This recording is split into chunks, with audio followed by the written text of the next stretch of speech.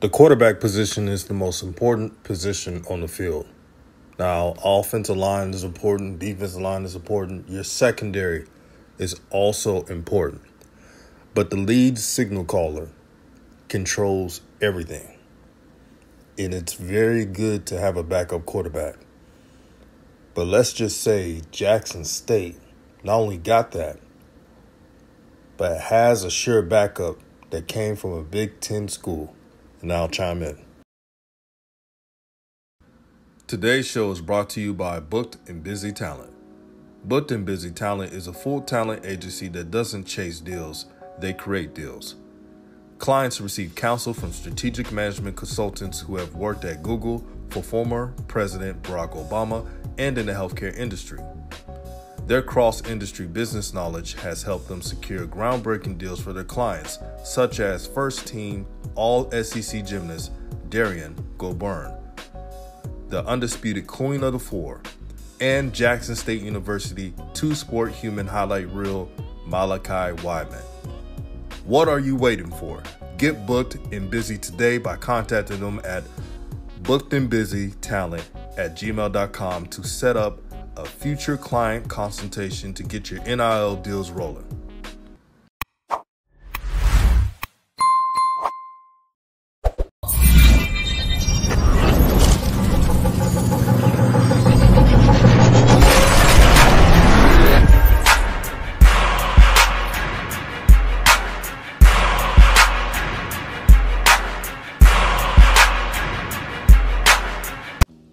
What's good, everyone? This is Raw Truth Media giving you the raw content that you deservedly need.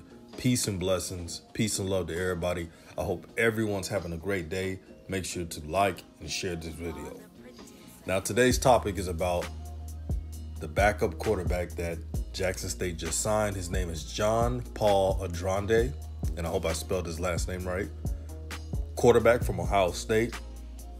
Now, before you go in the comment section and say he's a walk on at Ohio State, true. But there's one thing you're missing out. He was a three star recruit. And if you look at 24 7 Sports, he had a couple of D1 offers from the Mountain West, Sun Belt, and other FBS schools.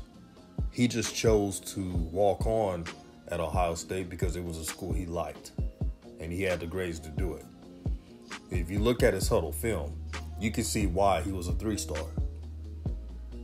Has good size, 6'2, 210, 215 pounds, a true pocket passer, every sense of the way. And this is great for JSU, not only on offense, but on defense.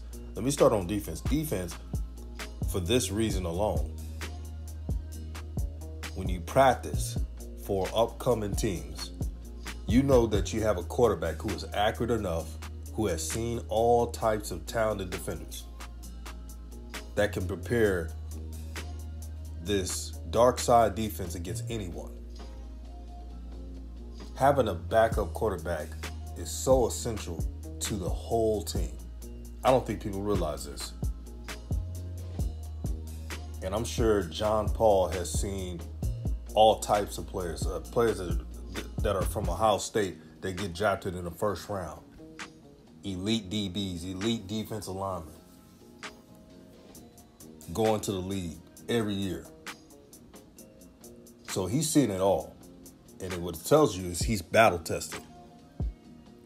And that's a plus. Now for offense. Shedeur had a great season as a freshman.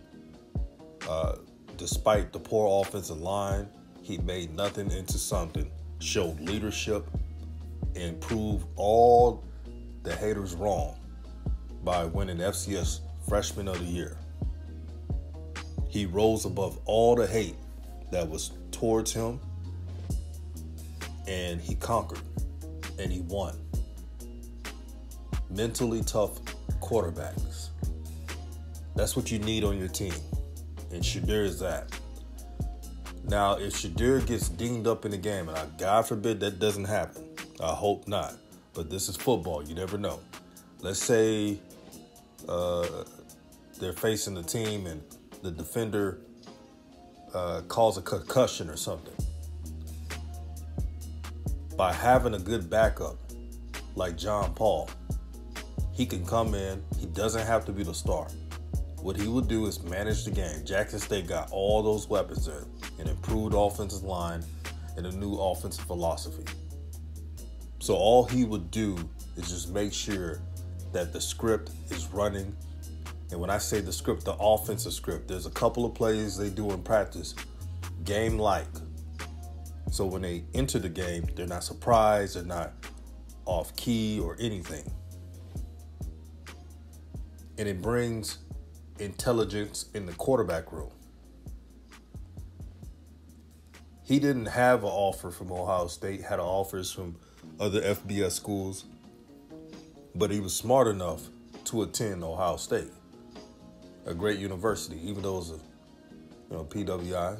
You know how we feel about that, but still, smart guy. And the quarter, quarterback room is bolstered. And you guys are going to see in the spring when you watch him play. You're going to be like, hmm, man, he could start for other SWAC teams. I'm telling you right now, do not be surprised. But shout out to Coach Prime. Coach Prime has been motivated this offseason from that loss they had in the Celebration Bowl. He wanted to make sure his whole roster is upgraded.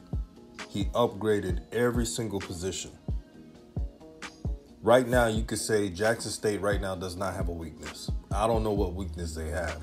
If you add these new recruits, I don't know what weaknesses they have. Now, you could say offensive line, but with the players they signed, unless unless the Pac 12 offensive linemen that they signed regress and don't play to the level they usually play with, then that could mean trouble, but I don't see that happening. But JSU fans, be excited. And I'm so glad that the SWAC improved. I always like the SWAC, uh, all HBCUs, to challenge each other on the field or on the court or any sport and to dominate against non-conference teams. That's the dream. And my dream for next season for all HBCUs, I want to see four, eight, at least four HBCUs ranked in the top 25.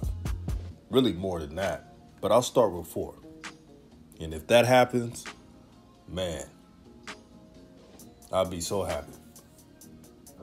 But I'm thinking about going to the spring game if anybody else going to the spring game, let me know. I gotta make it to that, man. I I, I gotta support. And uh, if any SWAC school has a spring game, I'm sure all SWAC schools have pregame, uh, spring games. Let me know as well. I'm, I'm going to Jackson State spring game and possibly Grambling. I gotta I gotta show love to Grambling. Grambling has been showing love to my channel, so I, I gotta return the favor. But if there's any more, let me know. Give me the, the dates of the spring games and everything else. Lastly, at 12 Pacific, 3 p.m. Eastern, I will be interviewing Derrian Gobourne, All American gymnast, the Queen. That's her nickname. It's an important conversation, especially uh, with black women tuning in.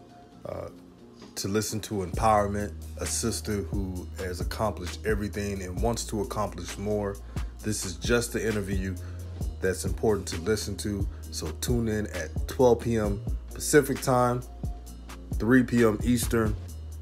And I want everybody to know stay positive, have a blessed day, and raw truth. And I'm out.